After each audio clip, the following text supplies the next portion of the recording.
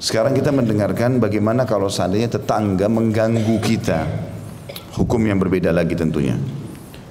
Kata Imam Bukhari rahimahullah, Ali bin Abdullah mengabarkan kepada kami, ia berkata, Safwan bin Isa mengabarkan kepada kami, ia berkata, Muhammad bin Ajlan mengabarkan kepada kami, ia berkata, ayahku mengabarkan kepada kami, an Abi Hurairah radhiyallahu anhu qala قال رجل يا رسول الله إن لي جارا يؤذيني. فقال انطلق فأخرج متاعك إلى الطريق. فانطلق فأخرج متاعه فاجتمع الناس عليه. فقالوا ما شأنك؟ قال لي جار يؤذيني. فذكرت للنبي صلى الله عليه وسلم فقال انطلق فأخرج متاعك إلى الطريق. فجعلوا يقولون اللهم الأنه. Allahumma akhzihi fabalagahu fa'atahu faqal irji ila manzilik wallahi la udhik. Hadis ini nomor 124 dan hadis yang masuk dalam bab nomor 68 masalah keluhan tetangga. Dari Abu Hurairah radhiyallahu anhu Beliau berkata, seseorang berkata kepada Rasulullah sallallahu alaihi wasallam, "Wahai Rasulullah, Aku mempunyai tetangga yang menggangguku. Maka Rasulullah SAW berkata kepadanya, pulanglah dan keluarkanlah barang milikmu ke jalan. Maksudnya di hadapan rumah. Orang itu lalu pulang dan mengeluarkan barang miliknya ke jalan. Maka orang-orang berkumpul padanya dan bertanya. Setiap orang lewat bertanya, kenapa kau keluarin barang-barangmu nih? Lalu orang itu menjawab, tetanggaku menggangguku. Lalu ku ceritakan kepada Rasulullah wasallam dan beliau bersabda, "Pulanglah dan keluarkanlah barang milikmu." Orang-orang lalu berkata, "Ya Allah, laknatlah dia," maksud tetangganya. "Ya Allah, ya Allah, hinah, hinah atau hinahkanlah dia ya. Atau hinalah dia." Rupanya hal itu sampai pada tetangganya yang menyakitkan atau menyakiti tadi. Maka berangkatlah tetangganya menemuinya dan berkata, "Kembalilah ke rumahmu, demi Allah aku tidak akan mengganggumu lagi."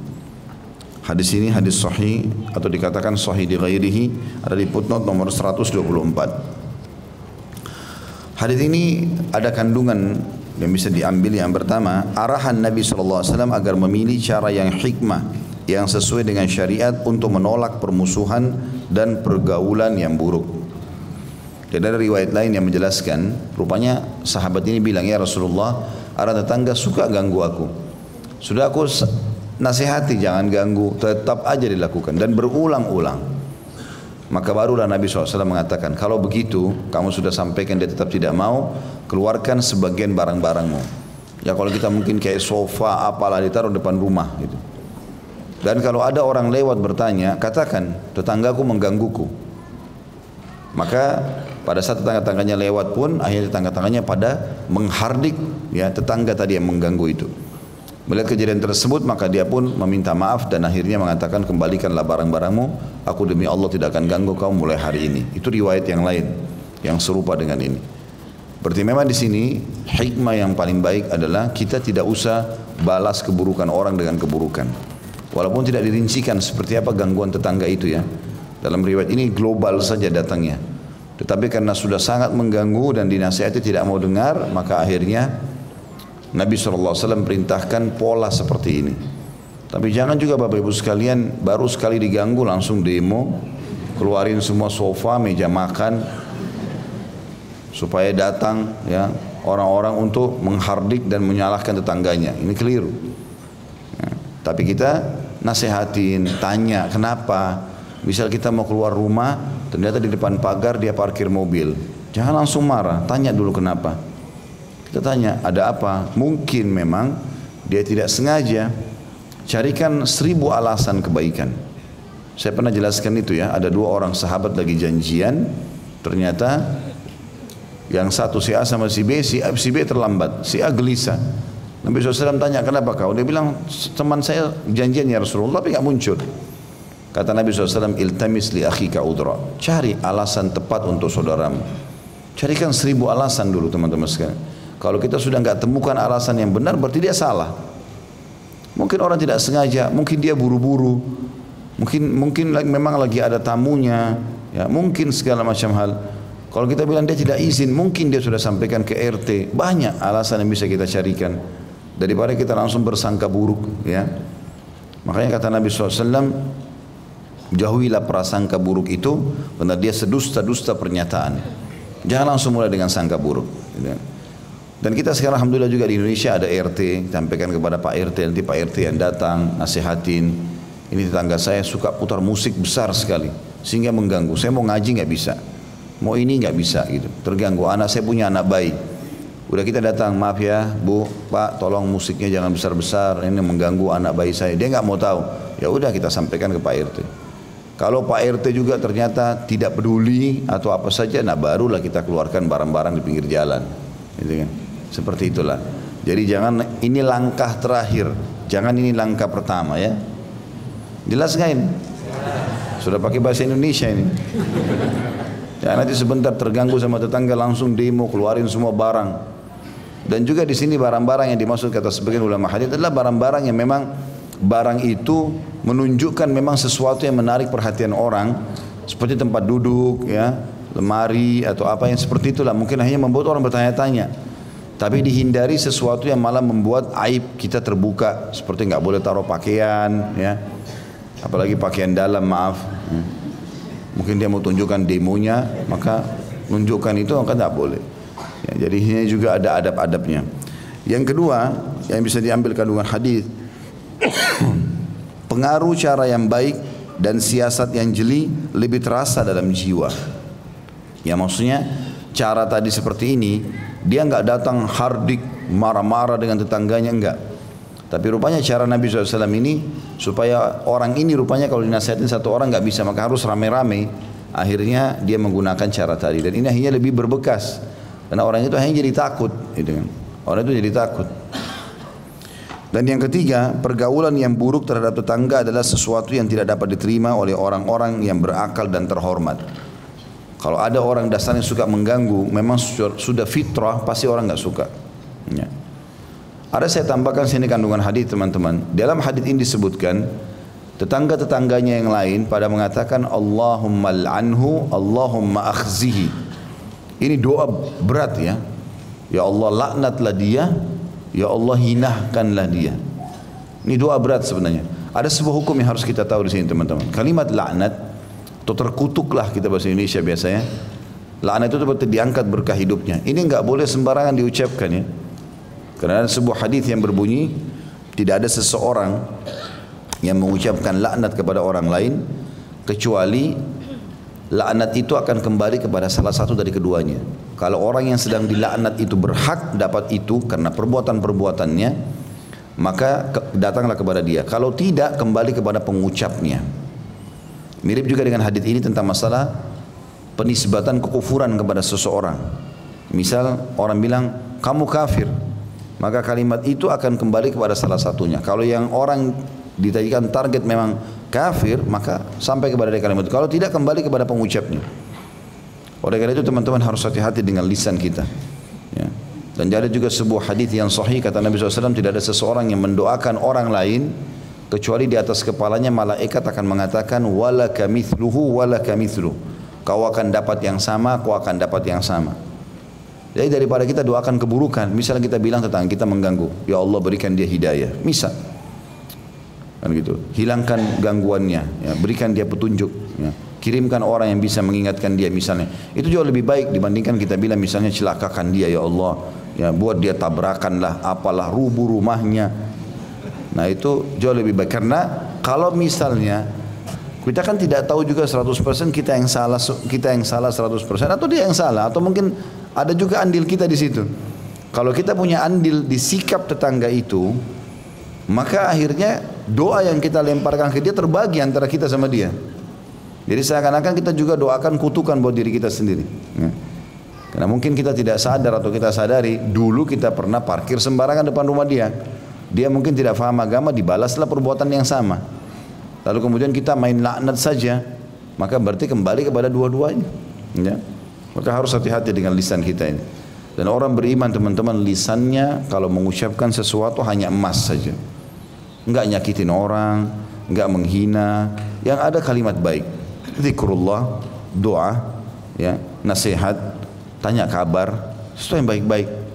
Tidak ada kalimat-kalimat kotor, jorok, apalah segala macam menghina orang lain tidak ada. Walaupun dianya dicaci maki. Nah, dalam Islam tidak boleh kita balas keburukan dengan keburukan. Jangan orang bodoh kita juga ikut-ikutan bodoh ini. Orang itu kalau tidak ada akhlak, tidak ada kemuliaan dalam jiwanya, apalagi tidak ada iman, maka dia kata-katanya selalu kata-kata yang tidak masuk di akal. Orang normal nggak masuk. Suka ucapin apa saja mudah kata-kata kasar segala macam. Itu kata Nabi SAW bukan orang mukmin itu fahish. Orang yang suka mengucapkan kalimat buruk. Enggak sama sekali. Tapi orang beriman selalu mengontrol itu karena dia tahu apa yang dia ucapkan akan ada pertanggungjawabannya semuanya. Kemudian juga sama Allahumma akhzihi atau hinakanlah dia. Ini juga sama dengan laknat tadi, artinya mendoakan keburukan bagi orang lain ya. Dan ini saya bilang langkah terakhir. Kalau betul-betul orang itu sudah tidak bisa lagi dinasihati, udah segala macam cara kita lakukan tetap tidak bisa ya sudah. Ya. Kebanyakan orang menggunakan kalimat begini. Ini tidak dalam dalam syariat, tidak dilarang kalau orang itu layak misalnya. Misal ada preman suka mengganggu di satu jalan. Tiap orang lewat diganggu sama dia. Udah dinasehati nggak mau dengar. Udah dilaporin pernah di penjara keluar buat masalah lagi. Terus saja begitu. Maka kalau ada orang melaknatnya itu adalah normal-normal saja. Kalau memang sudah sampai pada tingkat dinasehati, diluruskan, nggak pernah mau. Tapi kalau sebelum dinasehatin teman-teman jangan. Nasehatin jadikan semua orang yang belum faham agama di depan mata kita atau masih melakukan pelanggaran agama target dakwah. Bagaimana orang ini bisa dapat hidayah berubah sehingga menjadi amal soleh kita. Bayangkan teman-teman kalau semua orang sudah baik, kita dapat pahala dari mana? Justru pahala kita dari wanita yang belum pakai jilbab, orang yang belum sholat, orang yang masih begini dan begitu itu kesalahan-kesalahan mereka justru menjadi target dakwah. Bagaimana kita mendakwahi mereka, meluruskan itu. Nabi SAW sangat bersabar dalam menyampaikan kebenaran. Ya, dan bahkan pada saat penduduk kota Taif Allah Subhanahu wa taala mau hancurkan dengan mengutus malaikat penjaga gunung, Nabi SAW mengatakan jangan. Mereka tidak faham. Ya. Mudah-mudahan saja saya berharap ke depannya ada dari keturunan mereka yang keluar yang beriman kepada Allah. Maka akhirnya betul-betul Allah terima doa Nabi SAW keluarlah satu saja orang ini sudah mewakili kota Taif semuanya. Abdurrahman ibn Sakhar radhiyallahu anhu atau Abu Hurairah radhiyallahu anhu yang tadi kita sebutkan ya yang merawi hadis ini. Itu dari kota Taif yang tadinya sudah mau dihancurkan oleh Allah Subhanahu wa taala. Karena satu kota nolak dakwah Nabi SAW. Bukan cuma nolak, mereka lempari Nabi dengan batu. Tapi Nabi SAW dengan sabar berharap mereka ini belum faham. Kalau mereka faham nggak mungkin mereka mau lakukan itu. Akhirnya doa itu diterima dan berapa banyak pahala yang dipanen oleh Nabi SAW dengan mendapatnya hidayah orang-orang seperti ini. Hadis selanjutnya masih bab yang sama 125. Imam Bukhari rahimahullah berkata, Ali bin Hakim Al-Audi mengabarkan kepada kami, ia berkata, Syarik mengabarkan kepada kami dari Abu Umar an Abi Juhaifah radhiyallahu anhu qal syaka rajulun ila an-nabi sallallahu alaihi wasallam jarah فقال احمل متاعك فضعه على الطريق فمن مر به يلعنه فجعل كل من مر به يلعنه فجاء إلى النبي صلى الله عليه وسلم فقال ما لكيت من الناس فقال إن لعنة الله فوق لعنتهم ثم قال للذي شكى كفيت أو نحوه Dari Abu Juhaifah radhiyallahu anhu, ia berkata dan saya sudah sering ingatkan ya, kalau kita sebutkan nama sahabat walaupun buku kita tidak tulis radhiyallahu anhu kita ucapkan itu. Maka teman-teman yang pegang buku pasti kalau sebut nama sahabat saya tambahkan dengan radhiyallahu anhu. Ini menjalankan perintah Allah Subhanahu wa taala ya. Allah sendiri mengatakan tentang para sahabat, "A'udzubillahi minasyaitonir rajim radhiyallahu anhum wa radu'an." Allah ridha kepada mereka, mereka pun ridha kepada Allah. Abu Juhaifah sahabat Nabi. Maka kita mengatakan radhiyallahu anhu. Ia berkata, Seseorang mengadu kepada Rasulullah SAW mengenai tetangganya. Maka Rasulullah SAW lalu bersabda, bawalah hartamu dan letakkanlah di jalan agar seseorang atau orang yang lewat akan melaknatinya. Maka setiap orang yang lewat selalu melaknatinya. Tetangganya itu lalu datang kepada Rasulullah SAW dan beliau berkata kepadanya, apa yang engkau dapatkan dari orang-orang? Orang itu berkata, sungguhnya laknat Allah ada di atas laknat mereka. Lalu ia berkata, atau dia berkata kepada orang yang mengadu tadi, sudah cukup bagimu, atau kata-kata senada lainnya. Dan hadis ini mirip dengan hadis sebelumnya, memiliki kandungan makna, tapi berbeda sedikit lafaz saja. Kalau di sini Nabi SAW mengatakan keluarkan hartamu. Ya, harta masuk dalamnya apa pun yang bisa kamu gunakan masuk dalam harta. Tentu di sini mungkin tidak masuk dalamnya uang dan segala macam, tapi benda-benda yang tadi saya bilang bisa mengusik orang jadi bertanya, kayak sofa, kayak apa namanya e, tadi lemari, ya, tempat tidur yang orang jadi bertanya kenapa dikeluarkan nih, gitu. Maka seperti itulah, dan bukan di sini dimaksud harta adalah uang.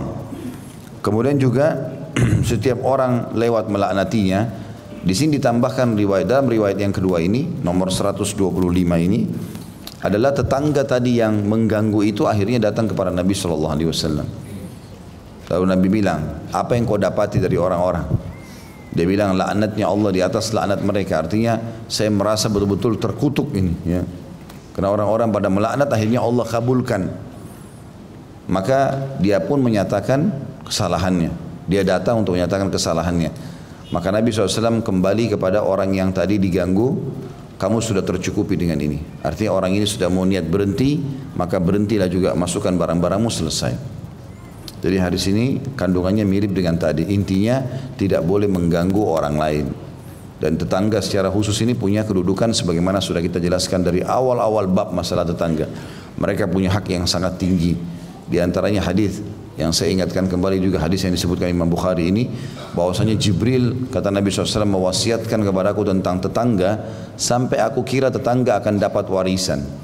Karena setiap Nabi SAW, Jibril ketemu Nabi SAW selalu dikatakan ingatkan umatmu tentang tetangganya, ingatkan umatmu tentang tetangganya, selalu disuruh berbuat baik. Bahkan kata Nabi SAW, aku pikir karena seringnya Jibril menyebutkan tetangga juga akan masuk dalam orang-orang atau daftar orang yang menerima warisan. Pada yang menerima warisan itu khusus. Ya. Tapi di sini subhanallah karena wasiat itu sangat tinggi, maka Nabi SAW mengira, tentu tidak tidak ada tetangga tidak dapat warisan ya, kalau punya hak kekerabatan. Tetapi yang dimaksud sini adalah bagaimana tingginya kedudukan mereka sampai Nabi SAW mengira mereka akan mendapatkan warisan. Ya. Hadis selanjutnya, hadis nomor 126, Imam Bukhari rahimahullah berkata, Makhlad bin Malik mengabarkan kepada kami, ia berkata, Abu Zuhair Abdurrahman bin Maghra mengabarkan kepada kami, ia berkata, Al-Fadl, yakni Ibnu Mubashir, mengabarkan kepada kami, ia berkata, Sami'tu Jabiran yakul, Ja'a rajulun ila Nabi sallallahu alaihi wasallam yasta'dihi ala jari. فبينه وقائد بين الركن والمقام إذ أقبل النبي صلى الله عليه وسلم وراءه وراءه الرجل وهو مقاوم رجلا عليه ثياب بياض عند المقام حيث يصلون على الجنائز فأقبل النبي صلى الله عليه وسلم فقال بأبي أنت وأمي يا رسول الله. من الرجل الذي رأيت رأيت معك مقاومك عليه ثياب بيض؟ قال أقد رأيته؟ قال نعم. قال رأيت خيرا كثيرا. ذاك جبريل صلى الله عليه وسلم أتو عليه الصلاة والسلام رسول ربي ما زال يوصيني بالجار حتى ظننت أنه جاعل له ميراثا. Aku mendengar Jabir radhiyallahu anhu berkata, Seorang laki-laki menemui Nabi SAW di mana ia mengeluhkan tetangganya. Ketika orang itu duduk di antara makam Ibrahim dan rukun Yamani, maksudnya di Mekah. Tiba-tiba Nabi SAW datang. Lelaki itu melihat beliau sedang bersama seorang laki-laki berpakaian putih di makam Ibrahim. Di mana orang-orang saat itu sedang mensolatkan jenazah. Tahu makam Ibrahim ya? tempat pijakan kaki Nabi Ibrahim di depan Ka'bah itulah yang pakai kubah emas ya. biasanya orang kalau habis tawaf sunnahnya sholat dua rakaat di situ ya sholat di belakang makam Ibrahim jadi waktu Nabi SAW lagi di situ rupanya ada orang datang dan mengeluhkan tentang masalah tetangganya mengganggu Lalu orang yang sedang mengeluh ini melihat Nabi SAW sedang bersamanya laki-laki yang berpakaian putih. Di mana orang-orang saat itu semuanya atau rame-rame sedang mensolatkan jenazah. Orang itu lalu menemui Nabi SAW dan berkata, demi ayah dan ibuku, maksudnya orang yang mengeluhkan tentang tetangganya ini, yang diganggu oleh tetangganya, wahai Rasulullah, siapakah orang yang aku lihat bersamamu? Ia menghadapmu dan berpakaian putih. Maka Nabi SAW mengatakan, engkau telah melihatnya? Orang itu menjawab, benar. Iya, aku melihatnya. Lalu beliau SAW bersabda, engkau telah melihat suatu kebaikan yang sangat banyak. Karena itu adalah Jibril alaihissalam, utusan Robku atau penciptaku. Dia masih terus, maksud Jibril, memberikan wasiat kepadaku tentang tetangga hingga aku mengira ia akan menjadikan untuknya warisan. Hadis ini menguatkan hadis yang sebelumnya. Entah yang dimaksud di sini adalah apakah orang yang sama di dua hadis yang sebelumnya nomor 124 dan 125 atau memang ini kejadian lain ya.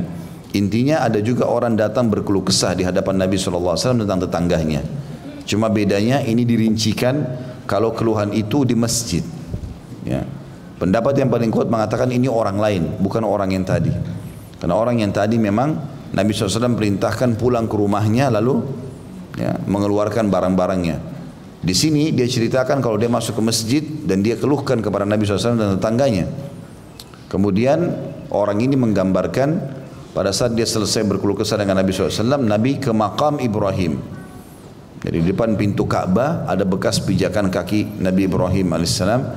Itu memang disebutkan dalam Al-Quran. Kalau Allah subhanahu wa ta'ala mengekalkan itu, fihi ayatum bayinatum maqamu Ibrahim dalam surah Al-Baqarah disebutkan ya di, di, di sekitar Ka'bah itu ada tanda-tanda jelas makam atau bekas telapak kakinya Nabi Ibrahim alaihissalam itu untuk menjelaskan kalau memang memang Ibrahim alaihissalam yang membangun Ka'bah ya karena beliau yang membangun bersama anaknya Ismail alaihissalam setelah runtuh ban, e, ditimpa banjir besarnya Eh, zaman Nabi Nuh alaihissalam. Jadi Ka'bah itu pertama sekali dibangun oleh Nabi Adam alaihissalam bersama anaknya bernama Syith. Syith ya, Shin ya Tha ya. Ini dulu termasuk anak saleh ya, adik daripada Qabil dan Habil. Maka terjadi banjir besar di zaman Nabi Nuh alaihissalam, hancur rubuhlah bangunan Ka'bah, lalu dibangun kembali di zaman Ibrahim dan Ismail alaihi wassalam. Ya.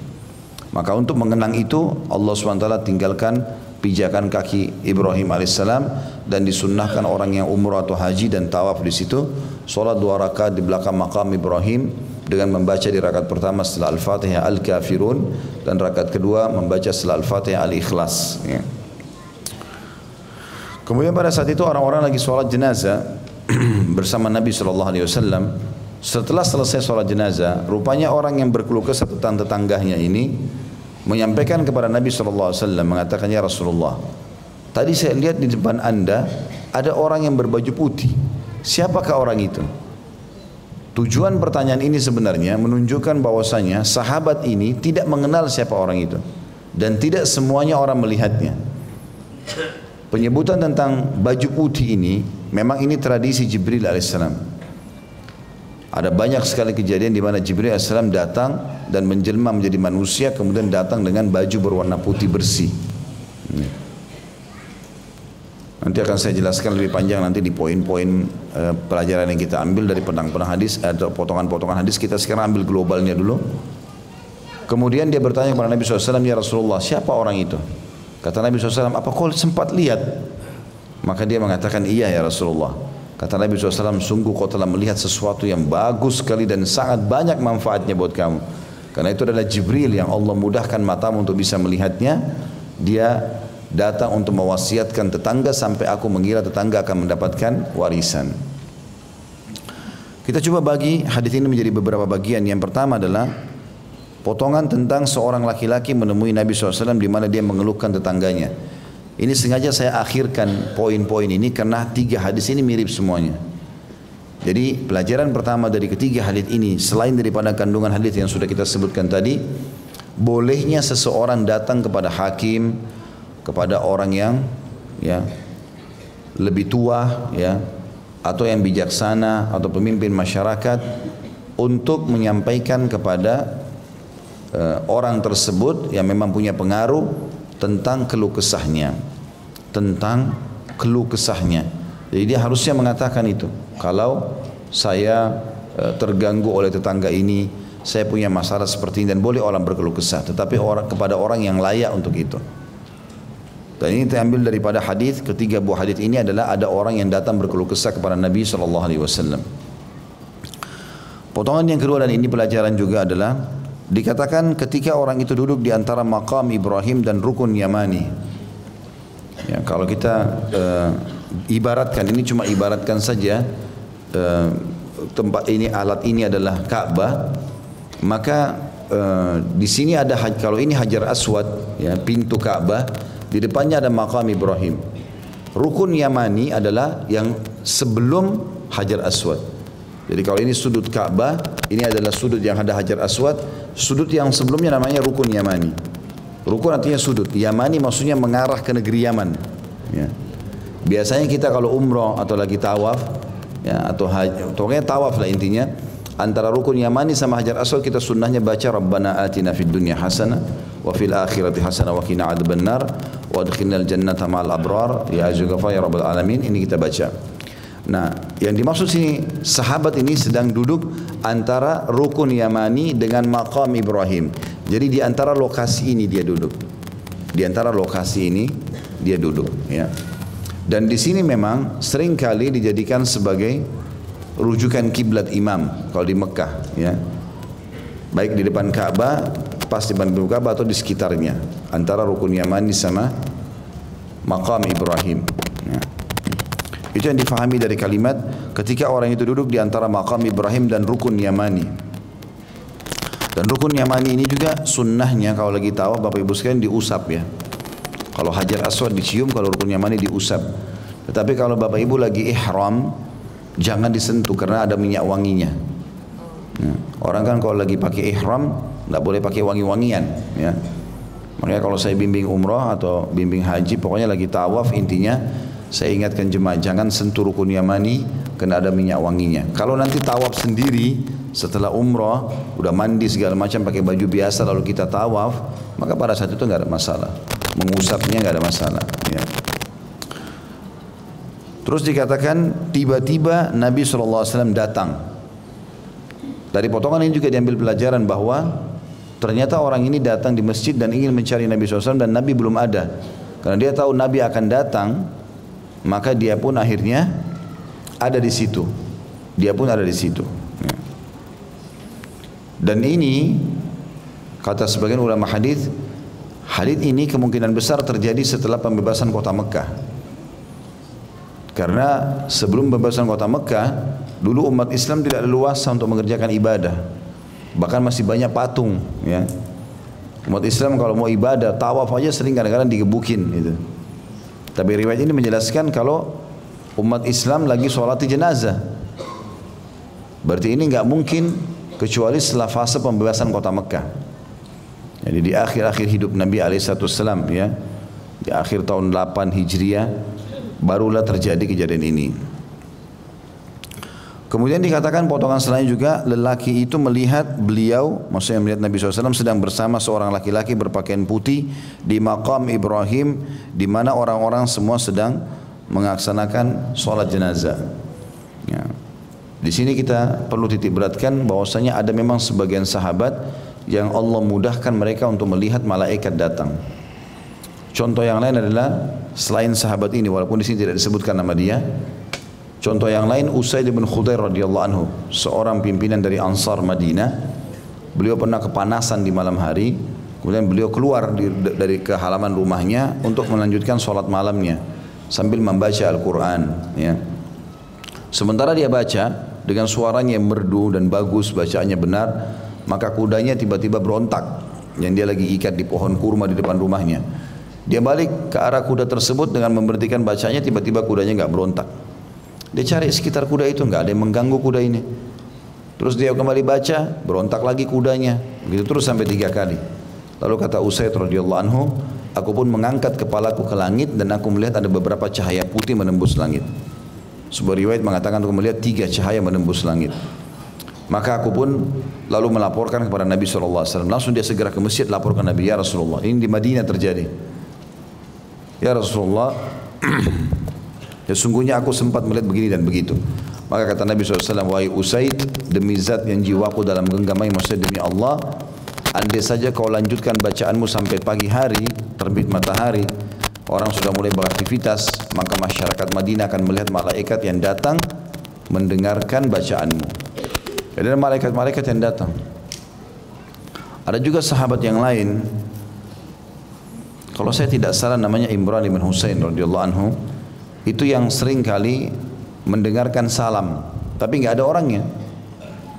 Dia nggak tahu dari mana salam itu. Setiap kali dia mau ke masjid, maka dia lapor kepada Nabi SAW, kata Nabi SAW itu malaikat yang mengucapkan salam kepadamu.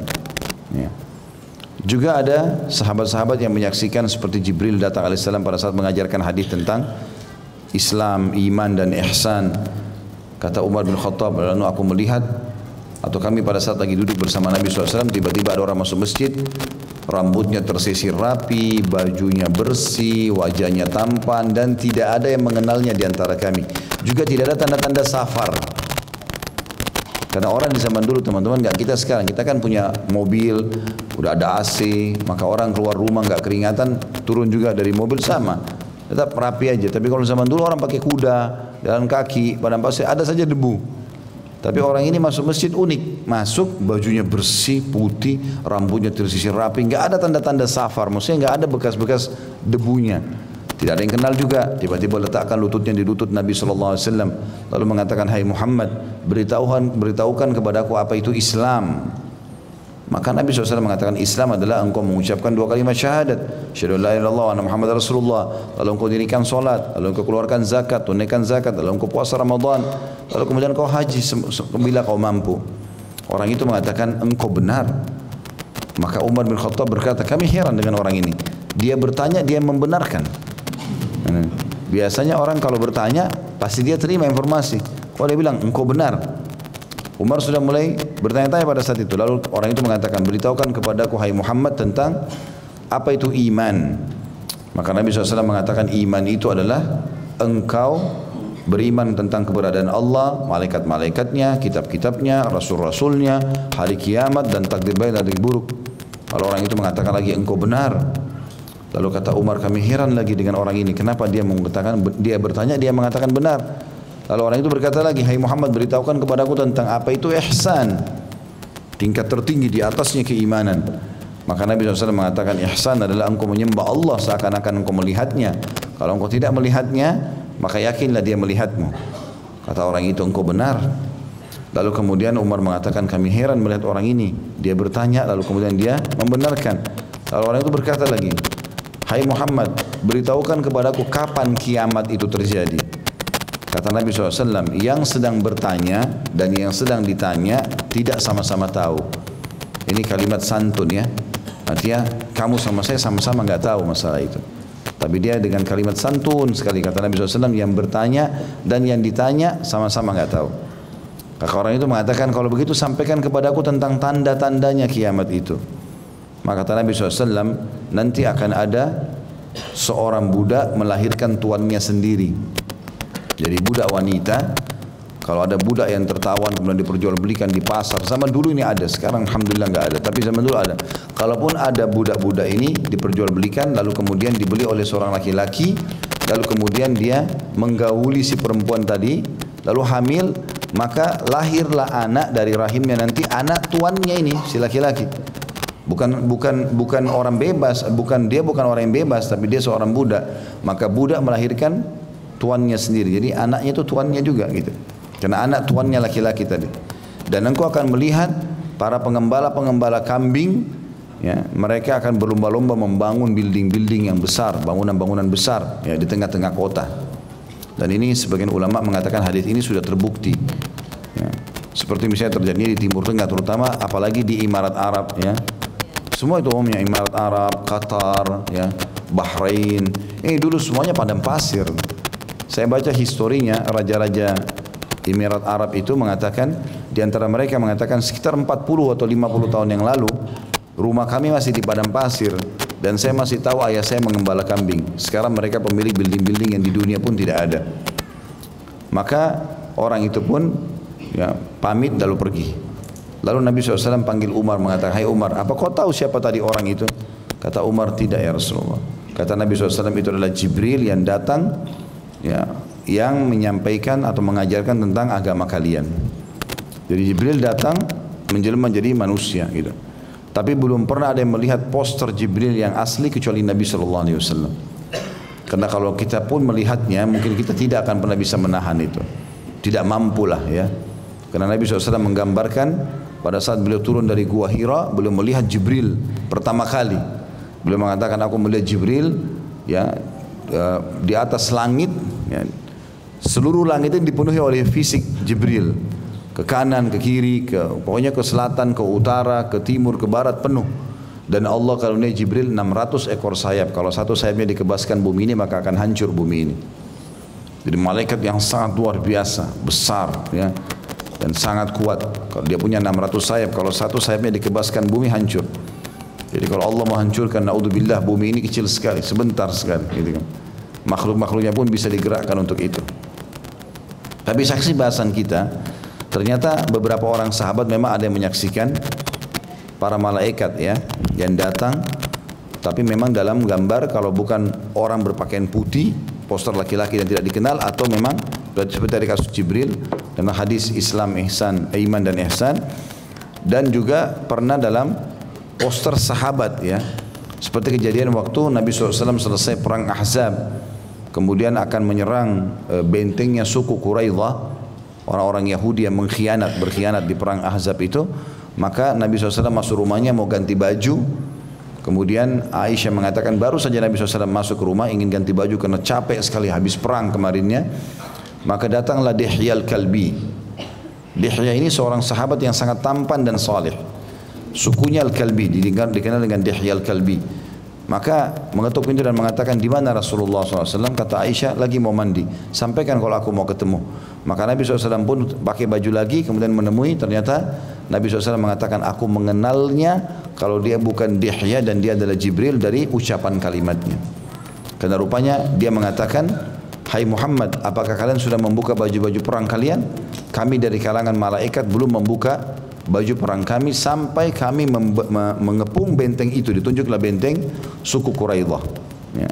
maka Nabi SAW segera memakai bajunya lalu mengatakan semuanya ya laki-laki di sini muslimin di Madinah jangan sholat asar kecuali di benteng Quraidah nah waktu itu kebetulan mau masuk waktu asar maka sahabat jalan semua ke Quraidah ada yang sampai menjalankan sunnah Nabi SAW, ada yang menjalankan perintah Nabi sampai di Quraidah tiba maghrib mereka belum sholat asar. Nah hanya mereka sholat asar di sana. Karena perintah Nabi jangan sholat asar kecuali di Quraidah. Ada juga yang sholat di tengah jalan, kemudian Nabi SAW membenarkan keduanya. Tapi pada saat itu Nabi SAW setiap kali ke benteng Quraidah berkata kepada orang-orang yang dilewatin, ada enggak ilah tadi di Hiyal Kalbi lewat sini? Mereka bilang ada ya Rasulullah, naik kuda di pelananya pakai bludru, pakai kain bludru warna biru. Kata Nabi SAW itu adalah Jibril. Ya, segeralah ke sana, segeralah ke sana. Dan ini hampir seluruh penduduk Madinah, penduduk Madinah menyaksikan itu. Begitu juga dengan orang-orang kafir ya yang berperang. Yang berperang melawan kaum muslimin seperti di perang Badar, itu mereka menyaksikan para malaikat. Mereka menyaksikan para malaikat yang turun sebagaimana telah disampaikan dalam banyak riwayat berhubungan dengan masalah itu. Jadi para sahabat ridwanullahi alaihim pada saat perang Badar tidak melihat malaikat secara langsung, tapi ada di antara mereka yang mengatakan saya waktu sedang mengejar musuh orang Quraisy dan ingin menebaskan pedang saya di leher mereka, di leher musuh itu, ya. Tiba-tiba saya lehernya sudah melayang. Lalu ditanya kepada Nabi SAW, ya Rasulullah, kenapa bisa terjadi begini? Saya belum penggal, sudah melayang sendiri kepalanya. Kata Nabi SAW itu adalah korban para malaikat. Bahkan setelah mengumpulkan jenazah-jenazah orang-orang kafir dan orang-orang beriman, yang orang beriman yang mati syahid dan orang kafir yang meninggal pada saat itu di perang Badar, kata Nabi SAW, mau nggak lihat bedanya korban kalian dengan korban para malaikat kata para sahabat tentu ya Rasulullah. Kata Nabi SAW kalau kalian temukan jari-jari yang terputus dari musuh dan ada luka bakarnya serta leher mereka terputus dan ada luka bakar itu adalah korban para malaikat. Karena mereka membawa pedang yang ada apinya ya. Seperti itulah Berarti memang kehadiran-kehadiran malaikat ini ada dan saya sudah pernah juga tekankan teman-teman malaikat itu wajib kita imani. Karena rukun iman kita ada enam. Pertama iman keberadaan Allah sebagai pencipta lalu malaikat-malaikat dan malaikat ini jumlahnya banyak jauh lebih banyak daripada jumlah kita manusia dan memang mereka makhluk Allah yang dimuliakan. Makanya kita sudah tahu ada rakib, ada atid, ada pencatat amal baik, ada pencatat amal buruk ya. Dan ada malaikat satu lagi yang menjaga kita dikenal dengan malaikat hafazah. Berarti setiap manusia ada tiga malaikat minimal yang mendampingi dia. Kalau jumlah manusia sekarang tujuh setengah miliar, berarti jumlah malaikat berapa yang mendampingi manusia? Tiga kali lipat. 22 miliar sekian.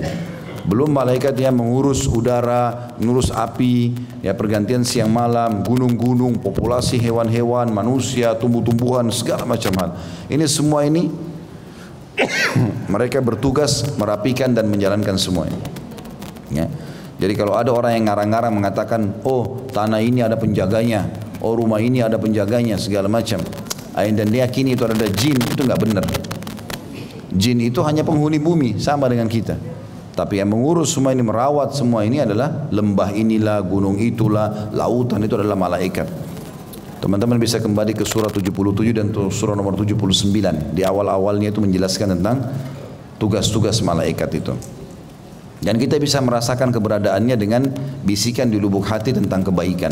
Sebagaimana Nabi SAW mengatakan, sungguh malaikat membisikkan kebaikan di lubuk hati kalian, gitu kan? Di lubuk hati kalian. Maka setiap bisikan yang baik, misalnya sholatlah, bantulah, sedekahlah, apalah segala macam itu kebaikan maka dari malaikat. Nanti pendampingnya dari korin, dari syaitan yang membendung itu.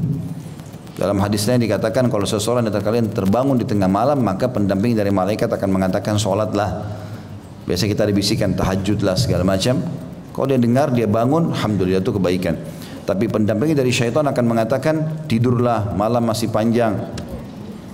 Yang mana biasa diikuti? Hmm? Tidur. Berarti sahibnya syaitan. Temannya syaitan. Ya. Baik potongan selanjutnya Dikatakan di mana orang-orang saat itu sedang sholat sholat jenazah. Sholat jenazah dikerjakan empat, empat kali takbir. Tanpa ruku, tanpa sujud, tanpa itidal. Berdiri saja menghadap kiblat takbir empat kali. Mengikuti imam. Ya. Jadi imam mengatakan Allahu Akbar, kita juga Allah Akbar. Eh, takbir pertama baca Al-Fatihah tanpa iftitah, tanpa surah. Al-Fatihah saja. Takbir yang kedua membaca salawat kepada Nabi SAW, salawat Ibrahim yang kita baca di tahiyat. Ya. Kemudian yang ketiga mendoakan si mayit, yang keempat salam. Bisa juga sebagian pendapat mengatakan berdoa buat diri sendiri. Tentunya ada tata cara sendiri tapi ini yang dimaksudkan dengan sholat jenazah. Dan keutamanya besar. Kata Nabi SAW siapa yang mensolati jenazah dia akan dapat satu kirat. Dan siapa pun yang pergi mengantar jenazah sampai dimakamkan dapat satu kirat lagi. Para sahabat bertanya ya Rasulullah apa itu kirat? Kata Nabi SAW seperti gunung Uhud. Ya. Berarti mendapatkan pahala gunung. Ya. Kemudian potongan setelahnya dikatakan orang itu lalu menemui Nabi SAW maksudnya menyampaikan keluh kesahnya dan berkata demi ayah dan ibuku wahai Rasulullah. Ini kalimat diucapkan hanya untuk Nabi SAW. Umumnya ya, para sahabat hanya ucapkan kepada Nabi SAW. Demi ayah dan ibu sebagai tebusannya. Maksudnya, anda saya lebih hormati daripada ayah dan ibu saya. Ya. Ini biasa kalimat santun. Ya. Siapa yang aku lihat tadi bersamamu wahai uh, siapa yang aku lihat bersamamu ia menghadapmu dan berpakaian putih. Maka Nabi SAW mengatakan apakah engkau melihatnya? Kenapa Nabi bertanya di sini? Karena memang tidak, tidak bisa jarang orang bisa melihat malaikat kecuali orang tertentu saja. Sebagian ulama mengatakan Allah subhanahu wa ta'ala memudahkan orang ini melihat malaikat karena dia disakiti oleh tetangganya. Jadi ternyata orang yang terzalimi itu bisa saja Allah subhanahu wa ta'ala berikan hal-hal yang mungkin tidak diberikan kepada orang lain. Ya mungkin Allah berikan dia kesehatan, Allah berikan dia rezeki. Kalau ada cobaan apa pun teman-teman dan kita rasa kita dizalimi sabar aja. Tinggal tunggu kok. Makin besar cobaan, maka makin besar sesuatu yang menunggu di ujung jalan itu. Ya, makanya dikatakan inna idhamal ajri ma idhamal ma, ma, ma, ma idhamil bala. Sesungguhnya besarnya balasan itu sesuai dengan besarnya cobaan. Berat sekali ini, ya memang. Yang menunggu juga besar. Ya, tinggal sabar saja. Toh akan ada garis finishnya. Setiap cobaan akan ada akhirnya. Semua begitu. Maka ini harus difahami juga teman-teman sekalian. Jangan terlalu banyak berkeluh kesah. Sebagian salafus saleh bahkan ada yang sampai matanya buta sebelah itu sudah sekian tahun, puluh tahun tidak ada yang dia sampaikan. Ya, tentu kita boleh berobat pada dokter, tapi subhanallah zaman dulu orang tidak punya semuanya peralatan seperti kita sekarang. Ada orang subhanallah flu saja satu kampung tahu kalau dia flu. Semuanya tahu masalahnya. Enggak. Orang mukmin sabar. Kena pahala sabar dapatkan dari cobaan, gitu kan? Kalau enggak ada cobaan maka enggak ada pahala sabar. Dan Allah mengatakan tentang orang sabar, Inna ma yulaqqas sabiruna ajrun bighairi hisab. Sesungguhnya orang-orang sabar akan mendapatkan balasannya tanpa ada perhitungan. Jadi sangat luar biasa diberikan. Kemudian Nabi SAW mengatakan pada saat orang itu bilang, apakah engkau melihat, uh, dia mengatakan benar ya Rasulullah, aku melihatnya. Maka Nabi SAW, engkau telah melihat suatu kebaikan yang sangat banyak. Kenapa kau melihat Jibril dianggap sebuah kebaikan yang banyak? Karena memang ini gaib bagi umumnya manusia. Berarti kalau ada orang yang Allah perlihatkan, itu kebaikan yang luar biasa. Karena akan menambah keyakinan dia. Akan menambah keyakinan dia. Dan ini yang dimaksud dengan kebaikan yang banyak. Ya. Kemudian yang terakhir, tentu di sini Nabi SAW mengatakan engkau terlihat, engkau, ter, engkau terlihat kebaikan yang sangat banyak dan ia adalah Jibril utusan Tuhanku. Jadi dia, Nabi SAW memperkenalkan waktu Jibril utusan Allah SWT. Potongan terakhir adalah dia terus mau memberikan wasiat kepadaku tentang tetangga hingga aku mengira ia akan menjadikan untuknya warisan.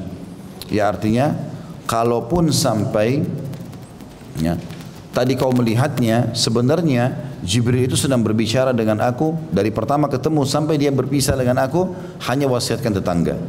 Ini tadi sudah kita singgung sedikit ya.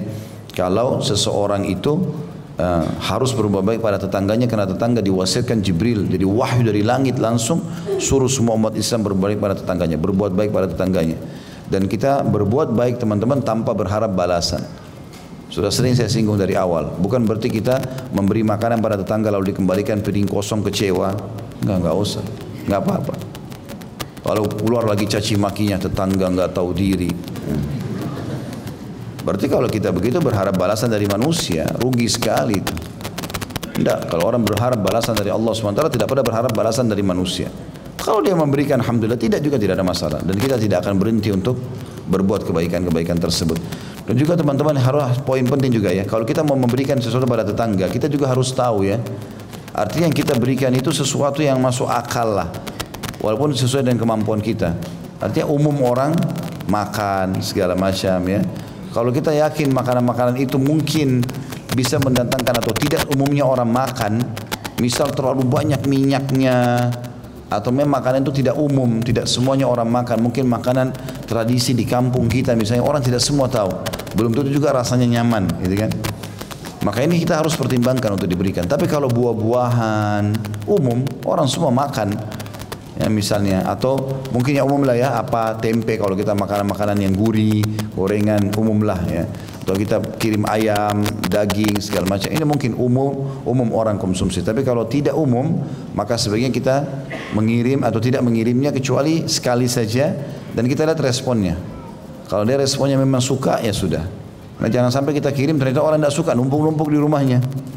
Kita kirimin pagi kirimin siang kirimin malam ternyata orang tidak suka ya Nah iya, harus hati-hati karena tidak semua makanan orang suka. Gitu. Tapi tradisi juga Nabi SAW, beliau kalau tidak suka makanan, maka beliau tidak memaksakan.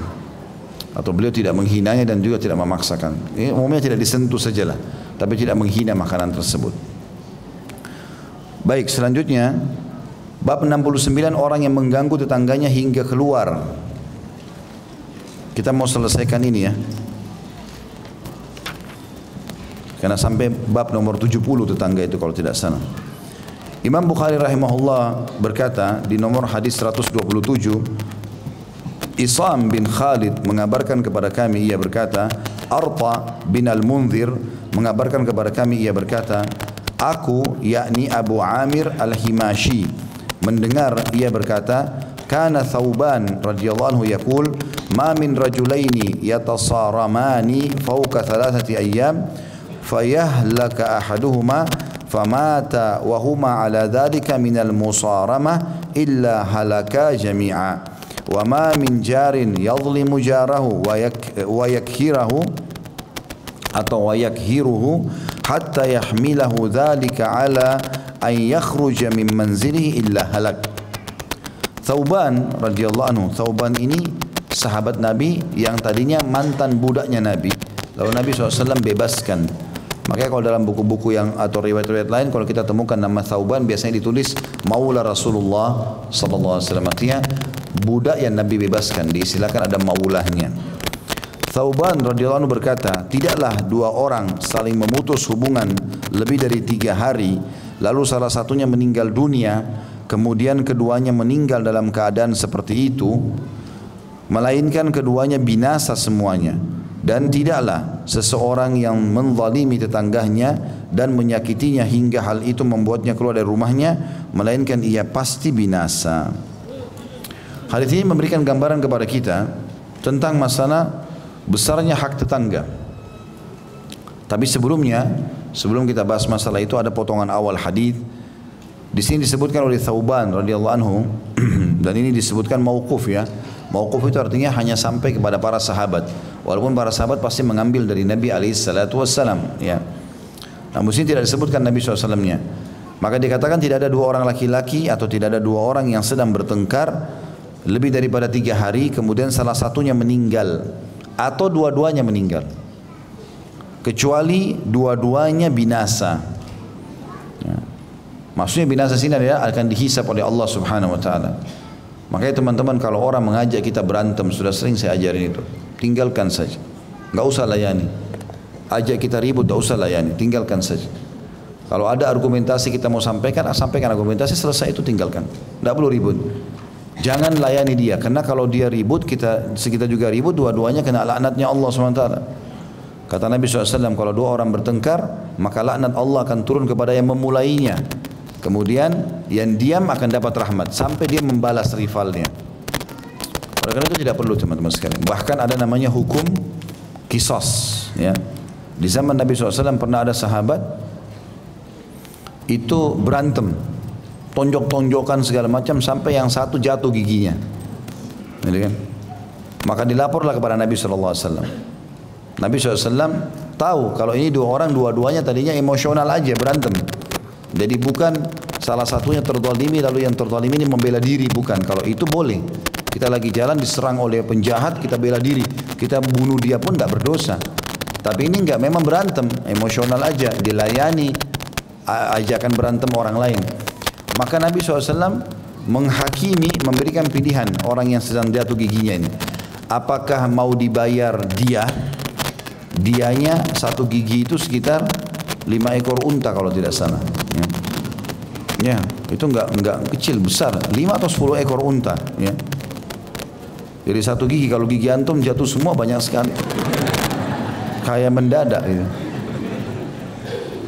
Yang jelas tanggal giginya dikasih pilihan bayar dia atau kisos. Gitu kan.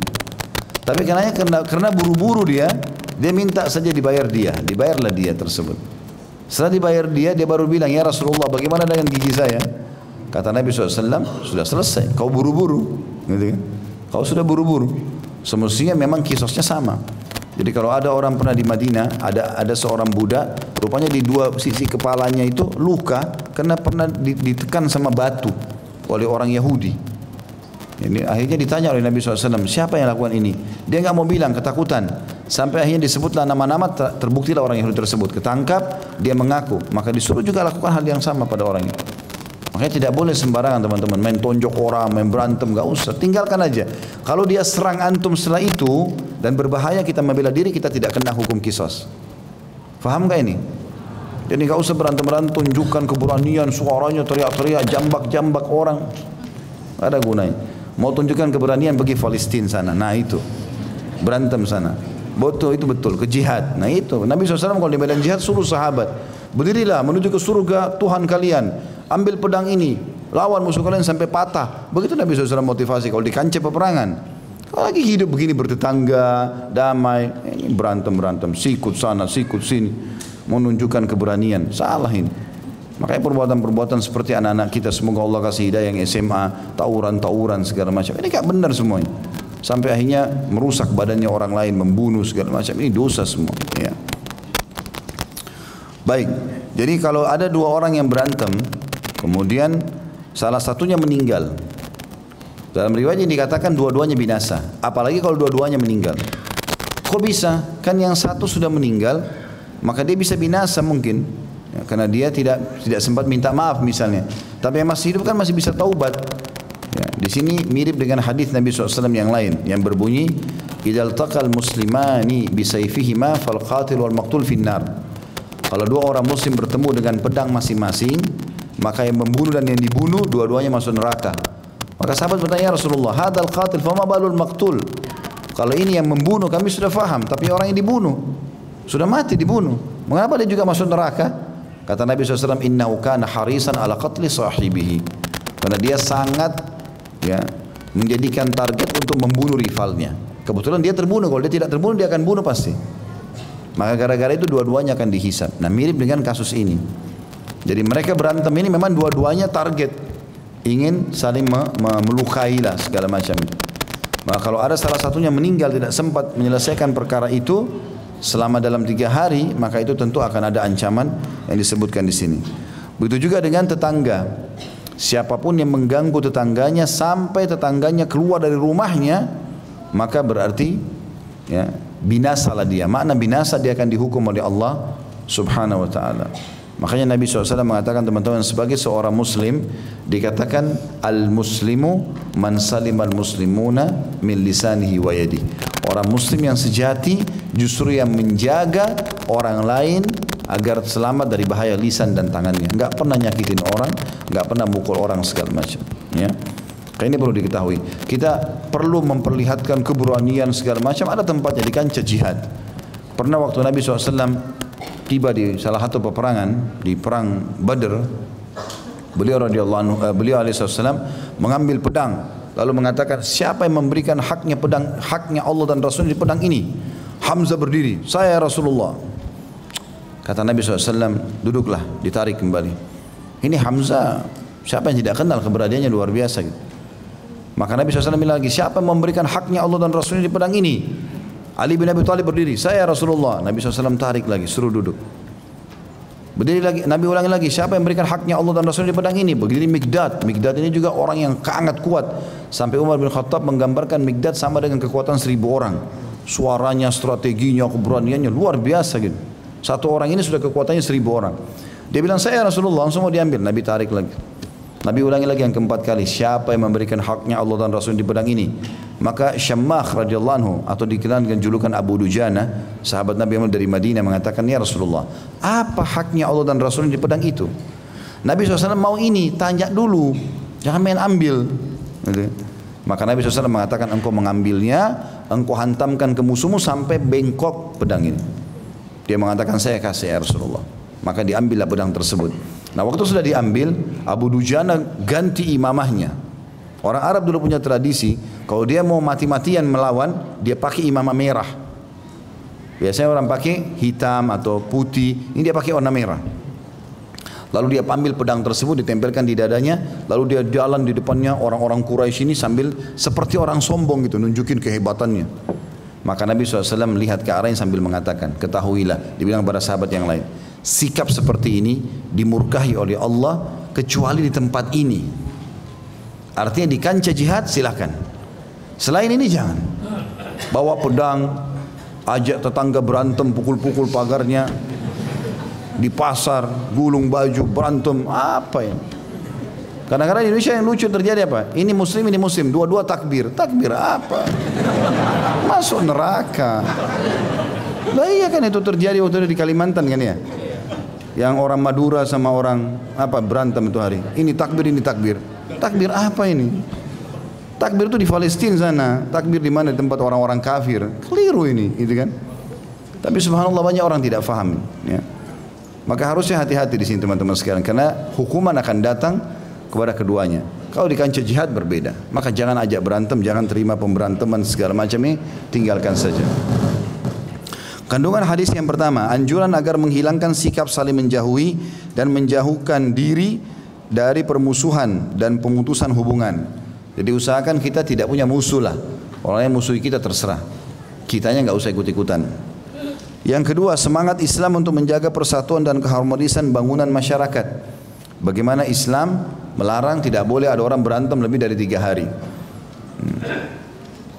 Dan ada juga hadis yang lain ya, kayak kita sekarang hari Kamis ini, kata Nabi SAW, setiap Senin dan Kamis Allah Subhanahu Wa Taala akan mengampuni setiap mukmin yang tidak menyekutukan Allah, ya, dan tidak punya masalah dengan saudaranya. Kalau ada orang punya keributan dengan seseorang, kalau dia dimusuhi terserah dia, tapi asal dia tidak ikut-ikutan. Nah kalau ada orang yang berantem dua orang, kata Nabi SAW, maka dikatakan oleh para malaikat, tundahlah pengampunan dosa dua orang ini sampai mereka baikan, tundalah tiga kali ya, tundalah eh, pengampunan dosa kedua orang ini sampai mereka baikan sampai tiga kali diulangi perkataan tersebut. Jadi memang Senin Kamis ini pengampunan dosa, tidak syirik, tidak punya musuh. Tiap minggu kita dapat dua hari ini. Lalu kenapa kita harus berantem sama orang lain? Dia musuh kita biarin aja. Jangan bodoh dibalas dengan kebodohan. Yang ketiga, peringatan agar menjauhi pergaulan yang buruk terhadap tetangga serta penjelasan akibat buruk bagi orang-orang yang berbuat zalim dan melampaui batas. Ya. Ini sudah jelas artinya tidak boleh kita berbuat kezaliman. Bab yang terakhir masalah tetangga adalah bab nomor 70 bertetangga dengan orang Yahudi. Hadis nomor 128 Kata Imam Bukhari rahimahullah, Abu Nuaim mengabarkan kepada kami ia berkata, Bashir bin Sulaiman mengabarkan kepada kami an Mujahid qal kuntu inda Abdullah bin Amr wa gulamuhu yaslukhu syat faqal ya gulam idza faragta fabda bijarina al-yahudiyya. Faqala rajulun min al-qaum al-yahudi aslahaka Allah qala inni sami'tu an-nabiyya sallallahu alaihi wasallam yusi bil jar hatta khashina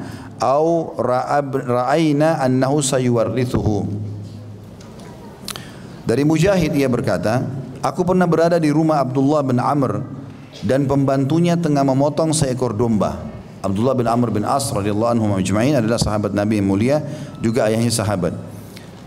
Kebetulan dia orang ini lagi bertamu di rumahnya, kemudian pembantunya lagi memotong seekor kambing. Lalu dia berkata, maksudnya Abdullah bin Amr berkata, wahai gulam, gulam ini wahai ya kalau dia sekarang itu staf pegawai ya, wahai anak kecil, jika sudah selesai selesai kamu sembeli dan masak kambing itu, maka mulailah dari tetangga Yahudi kita, kasih tetangga Yahudi itu. Lalu ada seseorang yang berkata, Yahudi, semoga Allah memperbaikimu. Maksudnya memberi petunjuk. Kok bisa Yahudi dikasih makanan? Seakan-akan orang itu kaget. Maka Abdullah bin Amr radhiyallahu anhu majma'in berkata, Aku mendengar Nabi SAW berwasiat tentang tetangga hingga kami khawatir atau kami melihat bahwa beliau akan menjadikan tetangga pewaris. Dan hadis ini sangat jelas sekali bahwasanya Abdullah bin Amr bin As radhiyallahu anhu majma'in adalah sahabat Nabi yang mulia. Ada terkenal empat orang sahabat bernama Abdullah itu banyak merawi hadis Abdullah bin Umar, Abdullah bin Abbas, Abdullah bin Amr bin As dan Abdullah bin Mas'ud ya. Maka mereka ini ada juga yang memasukkan Abdullah bin Zubair. Ini sahabat-sahabat Nabi yang sebaya dan mereka banyak meriwayatkan hadis. Pada satu waktu dia pernah lagi duduk di rumahnya, kemudian kedatangan tamu dan karena ada tamu kebiasaan orang-orang Arab ini dan ini tradisi Islam semestinya ya.